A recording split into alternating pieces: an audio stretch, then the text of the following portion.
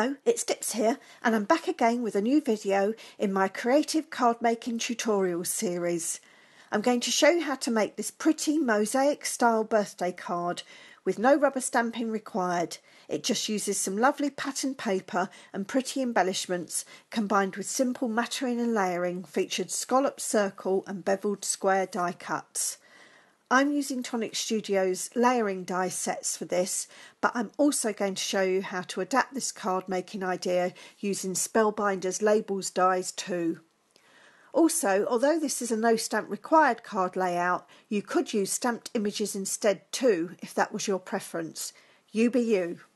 Okay, let's get started with a quick run through of the dies and materials I used to make this card. First off, I picked a couple of sheets of patterned cardstock.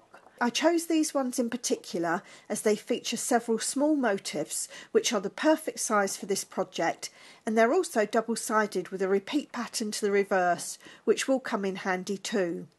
For my backing mats and layers I used a sheet of old gold metallic paper and a sheet of rusty red glitter card.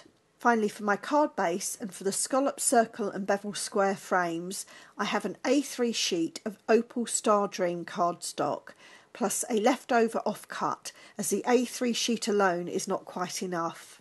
I'm going to use two die sets and these are by Tonic Studios. This is not a sponsored video but I did used to blog for Tonic Studios and I received these dies from them during that time. For my toppers I used a circle die from Tonic Scallop Circle Layering Dies and this specific one cuts out a 4.5cm or 1 and 3 quarter inch circle plus two dies from Tonic Square Layering Die set which have an elegant beveled edge and the larger square is 6cm or just over 2 and a quarter inches.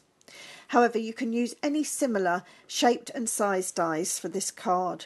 For example, here you can see that I've made a slightly different frame with a Spellbinders labels die along with a Spellbinders scallop circle. And if I pop it onto the card, you can see that this would work very nicely too.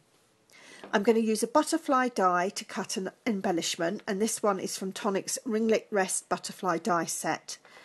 My other embellishments include a coordinating pair of handmade hat pins and I do have a step-by-step tutorial video on how to make these. I'll link that below. Plus a small satin ribbon bow. I've sewn a mother of pearl heart button onto this crochet flower and I have a few stems of pretty mulberry paper flowers including cherry blossoms and rosebuds. As well as the paper flowers, I will also use some flat back pearls and a crystal swirl to decorate the finished card. You'll find a list of all the dies and materials I've used for this card in the description box below. Please do subscribe to my channel for more video craft tutorials and give this one a thumbs up if you enjoy it. So to start, I scored the A3 card in half and folded it over. Then I also used my scoreboard to work out where to trim the folded card to create a base that's 29.7 centimetres or 11.7 inches square and I prefer to use my guillotine when cutting through a double layer of card like this. Set aside the card base and trim the offcut in half along the score line.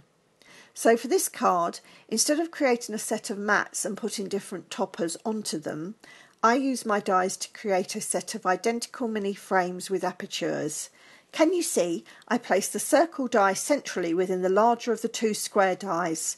My tip for making sure that each frame and aperture is identical is to use low tack tape to secure these together and keep this in place for each of the nine frames. Once I was happy that the two dies were spaced evenly, I popped them onto my first piece of off-cut card and the low tack tape kept them in place.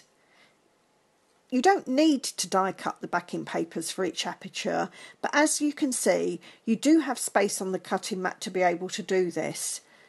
And the advantage to it is that you can position the smaller square die over the most interesting elements of the patterns, just like this. Now a quick quiz through the Grand Calibur to die cut and then another with the embossing sandwich and I've got my first aperture frame and focal point. You just need to repeat this process eight more times but I won't bore you with that. So once I'd cut all my frames I could work out what size I needed to cut my two mats to layer underneath them. To do this, I laid out three of the frames on top of my card base and measured the gap at the edge. I could then work out the size of the two mats that I needed to cut. You can see that I like to use a ruler and my guillotine, so let's quickly fast forward with the cutting of the first mat from the old gold metals paper, followed by the base mat from the glitter card.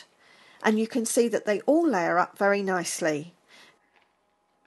Finally for the die cutting I used a die to cut out a butterfly embellishment from an offcut of the glitter card. So to layer up the mini frames I turned the frame over so that the upside was facing down and attached four foam sticky pads around the edge of the aperture.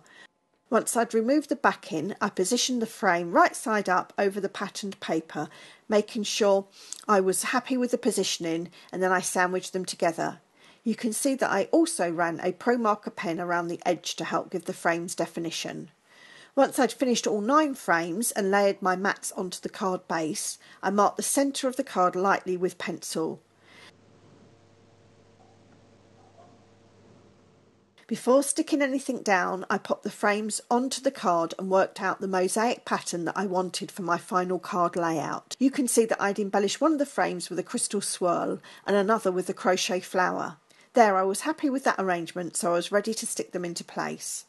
I'd popped more 3D foam onto the back of the frames to raise them up and you can see I've already stuck down the central frame. I used a little bit of wet glue onto my sticky pads as this gave me a bit of time to reposition things if necessary. Then I stuck each of the frames down doing the central row first followed by the central column. Doing the frames in this order helped me ensure that the frames were spaced evenly. Now to film this I made the card upside down so I do check a couple of times off camera that things are straight but you won't have that issue. Finally I filled in the four corners. Now for the finishing touches. I'd shaped the butterfly with my bone tool and then I added a line of crystals along the body and to form a trail that matches the swirl I used earlier. Next came the mulberry paper flowers. I'd already snipped the stems from the back of these, then I started by sticking the cherry blossom into the corner of the frame using some 3D gel glue on the back, followed by the other flowers working them into a pretty arrangement around the frame. I tucked in my two homemade pin embellishments. Sorry, I'm working upside down to you, but I just couldn't get the bow right working upside down from me. Finally, I popped on three flat back pearls to embellish the card base too. Then I left it for about 20 minutes to allow the glue to set up. So let's take a look at my finished card. Plus a quick peek inside too. If you've enjoyed this video, please do give it a thumbs up. As well as card making and paper crafts, I also love cake decorating and sugar craft, so please do subscribe to my channel for more video craft tutorials like these. I'm absolutely thrilled when you take the time to comment and ask questions. And can I ask you, is there any other of my cards from my blog that you'd really like to see as a step by step how to make video? Thank you for spending your precious time with me and bye for now.